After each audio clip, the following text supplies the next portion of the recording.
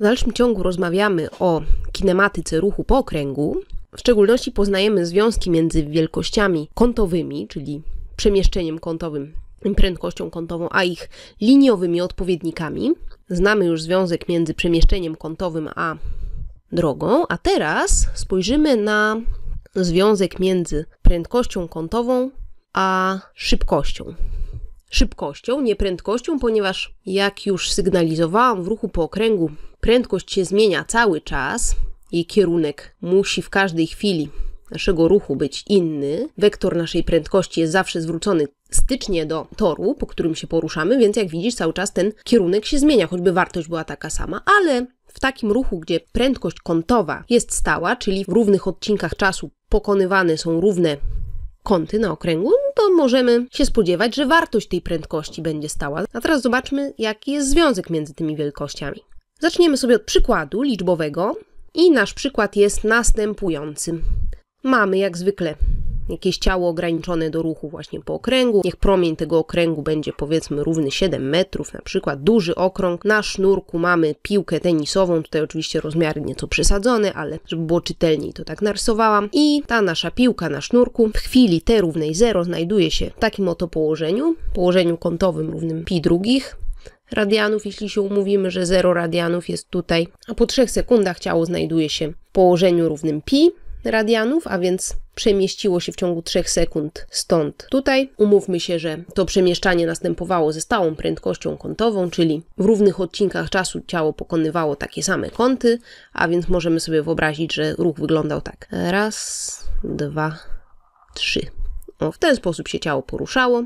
No i teraz policzymy sobie dwie rzeczy, mianowicie prędkość kątową. Mówiłam, że jest to wielkość wektorowa. Kiedy ciało się porusza w taki sposób, przeciwnie do wskazówek zegara, ten wektor jest zwrócony w taki sposób, nasz tort wychodzi w stronę naszego oka. No ale powiedzmy, że interesuje nas raczej wartość tej prędkości kątowej. Wiemy już, jak ten wektor jest zwrócony i o tym już nie myślimy, interesuje nas bardziej jego wartość. A oprócz tego, niezależnie chcielibyśmy policzyć również szybkość tego ruchu, wartość po prostu zwykłej prędkości. I teraz proponuję Ci wciśnięcie pauzy i proszę Cię spróbuj te dwie wielkości policzyć na podstawie tego, co już wiesz z dwóch pierwszych filmów naszej serii i wróć proszę do oglądania, kiedy tę próbę podejmiesz. No dobrze, policzmy to teraz razem. Zacznijmy od prędkości kątowej.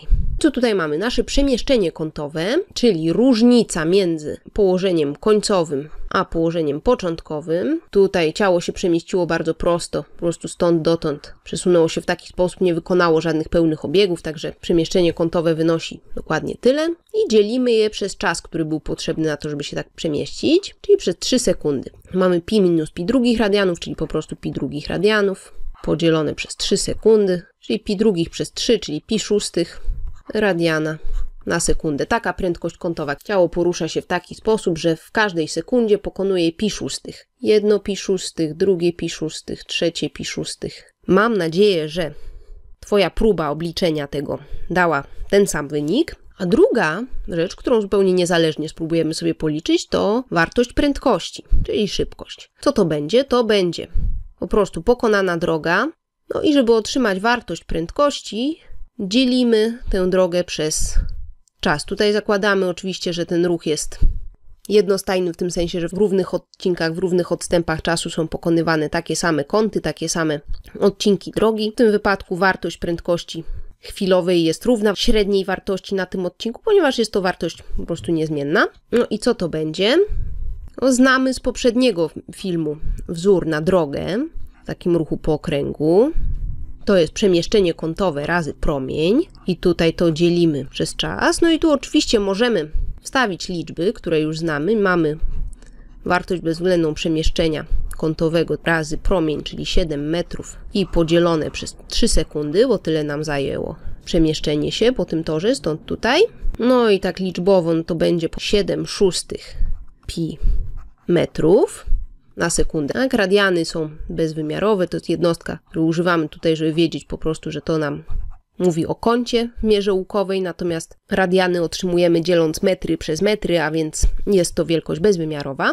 Stąd taki wynik, ale z drugiej strony zauważ, co mamy tutaj. Co to jest? No to jest przecież wartość prędkości kątowej. Tak, a wobec tego widzimy, że wartość prędkości liniowej ruchu po okręgu jest równa po prostu wartości prędkości kątowej razy promień okręgu. No i tutaj widzimy, że powiedzmy ta piłka na końcu sznurka porusza się z jakąś prędkością kątową, w jakimś odcinku czasu pokonuje jakiś kąt i dokładnie ten sam kąt pokonuje każdy tutaj punkt na sznurku. W danym odcinku czasu tu ten sznurek się w żaden sposób tak nie, nie wygina, nie faluje, tylko podczas ruchu jest prosty, jest napięty i każdy jego punkt pokonuje dokładnie ten sam kąt w jednostce czasu, co nasza piłka znajdująca się na końcu. Czyli jak sobie narysujemy, to może jeszcze raz. O, każdy punkt sznurka ma tę samą prędkość kątową, natomiast wartości prędkości liniowej, jak widzisz, się zmieniają. Tutaj jest prędkość liniowa o wartości równej prędkości kątowej razy promień, natomiast każdy punkt, który znajduje się odpowiednio, powiedzmy bliżej, na przykład tutaj, już ma prędkość liniową odpowiednio mniejszą. A z kolei środek, dla którego promień wynosi 0, spoczywa. I to jest o tyle wygodny wzór, że mając na przykład jakąś wirującą tarczę, tak, czy właśnie piłkę na sznurku, wiedząc, że wszystkie punkty mają tę samą prędkość kątową, całość się obraca w sposób sztywny wokół jakiegoś punktu, możemy poszczególnym punktom, w zależności od odległości od, od tego punktu, wokół którego się kręcimy, przypisać wartości tu prędkości liniowej. Ten wzór łączący właśnie wartość prędkości liniowej z prędkością kątową może być przydatny. Nie trzeba go koniecznie pamiętać, natomiast warto wiedzieć, skąd on się bierze. Ale uczulam Cię na to, że jest to jedynie związek między wartościami. Mogą to być wartości średnie, mogą to być wartości chwilowe. W przypadku, kiedy prędkość kątowa jest zmienna, ten związek pozostaje prawdziwy, ale jest to związek jedynie między wartościami, nie między wektorami. W momencie, kiedy ciało się porusza w taki sposób, wektor prędkości kątowej jest o taki, tutaj kąt prosty, czyli są to wektory, między którymi nie ma prostego związku proporcjonalności, natomiast ich wartości są związane ze sobą w bardzo prosty sposób. W kolejnych filmach zobaczymy przykłady zastosowania tego wzoru, a tymczasem do usłyszenia.